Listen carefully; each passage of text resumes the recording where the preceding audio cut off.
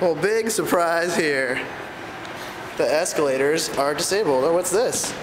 New sign. Interesting. Face forward. Hold handrail. No riding barefoot. Was that a problem? well, don't sit on the handrail. I mean, when you're four stories up here, that actually kind of makes sense. Wow, the service on this is incredible. Why is it so dark?